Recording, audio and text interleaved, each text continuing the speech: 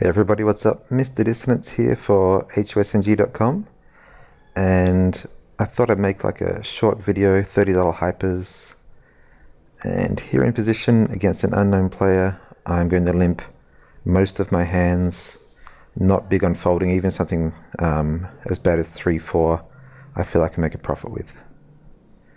Alright, he's called me, which is interesting. Don't expect much ace-x in his range uh, he definitely have king x or a 2, couple of diamonds, so I'm going to barrel that spot and we'll just have a look at it afterwards in the replay and we'll talk about why we think that's a good barreling spot. Ah, 3-4 again. Lovely. What did they have last time? 4-5. Andy jams, so very happy that I didn't uh, min raise it. He's looking a little bit aggressive here, and he's looking very aggressive. So once someone jams over my min, uh, jams over my limp and then open shoves, he's looking a bit on the aggressive side. I might try and induce by limping here, which didn't work, but we did pick up a nice set.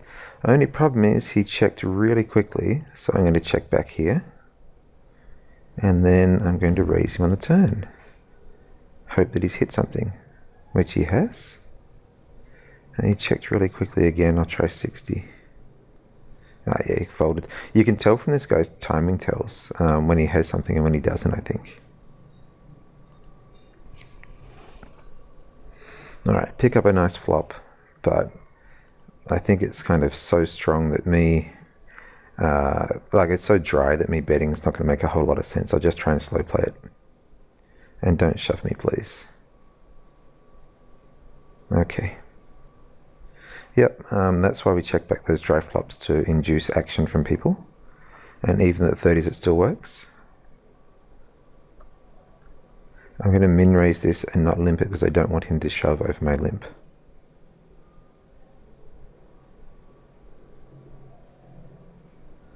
And here we are down at 9 big blinds. He's limping. I wonder if I led if it would work. Just that I don't think he's going to limp much that hits this sort of range. I think he'd be jamming it. Alright, get it in good. And no love, which is fine.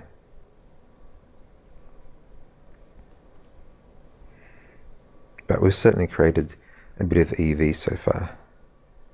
I might time down a little bit and limp and see if that affects his uh, timing. Nope. He just snap folded.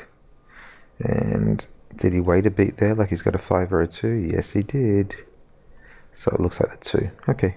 I think from this guy's timing, you could literally work out when he's got a hand and when he hasn't.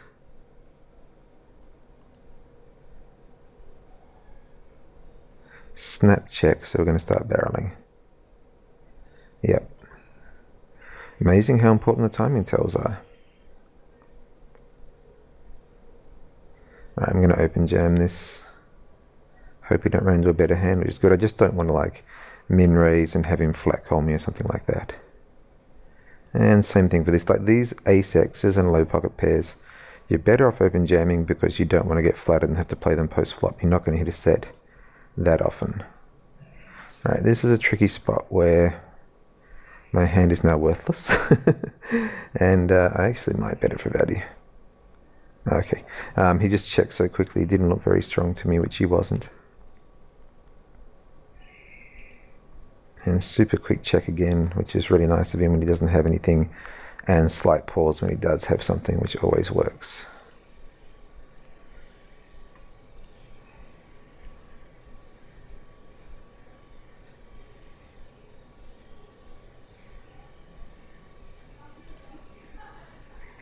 And he looks a little bit passive post flop so we're certainly going to give him some respect when he's got something. Or when he bets is what I mean.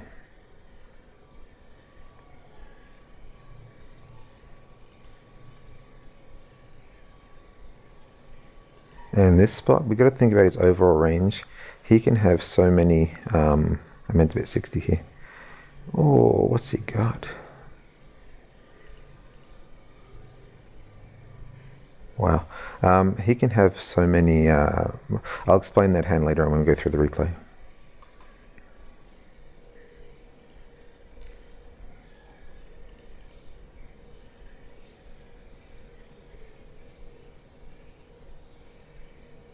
Alright, so we'll see if he wants a rematch, which I doubt. Okay, let's go through the replay.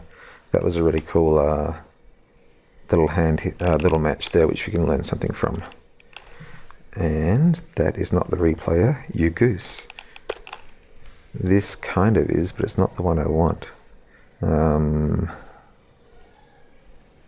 okay, and then visualize. Yay, I got it.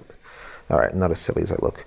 All right, so let's start off here with this limped hand. All right, we bet and we get called. And then the question is, what do we think that his uh, range is for calling us on the flop? So I'm thinking that in a limped pot, he won't have much ace x or king x. And he knows that um, I probably don't either. So if he flat calls me, it's calls me, it's most likely the two possibly some sort of draw, like uh, you know Jack ten or something like that. Queen ten's possible, or a flush draw. So this nine is going to put the weak draws like Jack ten and Queen ten under pressure, and hopefully make them fold, and it'll make the two fold. He doesn't have many aces or kings, we think, so therefore it's a good barrel card for us, and we bet it and get the fold. So that explains why I barrel this spot here. Um, also, as I mentioned before, I think it's profitable for me to be limping these poor hands. Alright, uh, not much happened on this one. Alright, this one here, we limp our pocket fives because he'd been um, quite aggressive and min raise also would have made sense. And why did I check it back? It's a wet flop. Why would I check this back? Because he gave me a timing tell when he just snap checked and I believe that made him weak. Alright, let's get this game a bit faster. Alright, then he bets the turn, and this is the time where I feel I should raise. Um, if I raise now, I'm getting value from 6x that won't fold, and stuff like 8, 9, and 9, 10, and obviously Jack X. And in case I have got it wrong, he's got a 7 or something, he'll also call me. So by raising here, I get my value. The value spot on most hands is the turn and this is the spot where you need to be getting value by raising people, not flat calling, unless they're a good reg or something, where they're going to keep barreling you. And then river bet size, I might have even tried small like 40 or 50. He looks really weak there. All right, let's see the next one of value. All right, so this one here, um, I min raise and he flats, and the flop comes down ace 4 4. And you might think, well, I have to bet this, I have to be balanced.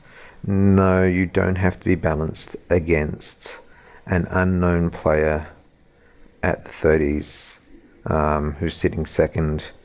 Basically, what I'm trying to say is a recreational player. If I bet here, I'm just getting folded a lot of the time. Against the reg, of course, I'd always bet, but against an unknown player, I just check back, and then he starts probing the turn, which is lovely, and then betting the river. I don't think I'm getting any value out of raising here. Like the, the only possible hand that might call me is an 8. And me just flat calling, um, you know, sort of pot controlling. And I got two streets of value, 120 chips there by checking back this flop. I'm pretty sure that most of the time people are folding if I bet. Alright, other important hands. Um, I'd noticed that uh, I hadn't been raising very much, and normally this is a hand that I would limp, but I want to take advantage of my image of not raising and raise this hand to pick up the immediate fold equity, which worked pretty well. All right, next one. Oh, this one here was kind of cool too. So he limps at 90 blinds, and when the flop comes down, queen, queen, jack, I'm thinking it's not going to hit his limping range that much. I mean, I think he's really weak to be limping here, and I don't mind probing and just trying to take it down, which worked really well. Well, which would work if I could hit the button. All right, so King 8, pretty standard jam, and let's have a look at the rest of it. Um, this one here, he gave me a timing tell that he had something, um, which then turned out to be true when you bet the turn. I'm pretty sure it's the two there. So snap, give that up. Don't fall in love with your ace king. It's, uh, you know, once it's dead, it's dead. All right nothing happened. And I think there was like maybe another interesting hand, or am I incorrect? All right. So I'm doing a lot of limping in this, which is working fine. And where's the one where we finally catch him? Oh, yeah, this is a really cool hand. Um, okay, so we limp. All right, and we lead out. Don't expect him to have any ace-x at 10 big blinds or 11 big blinds. If he's got an ace-x here, congratulations, you've now owned my soul. So when he flat calls me, I think he's not going to have 7, 10 or 10 jack. That's not so likely. Most likely has a 9 or an 8. Alright, now on the turn, this King of Clubs, also a card I don't expect him to have very much of. So I actually wanted to bet like 60 here, but was too lazy to type it uh, and bet 80. Alright, get called. And then the third king means he almost certainly does not have a king at this stage. So what I'm actually trying to do is if he has 9x, I'm trying to get him to fold it by jamming. And obviously because we're going to be chopping. So that's why I jam all in here. And he actually makes the call with, what is it, fourth pair or something, which was uh, lucky for me. But I got, uh, I'm doing this to either, to force out the 9 chop that's the uh, the reason I'm jamming here and take the whole pot and it just the added bonus was that he turned out to have an 8 and I got um, full value out of the 8. Alright, pretty cool little game there. Let's go play another one and see how that goes.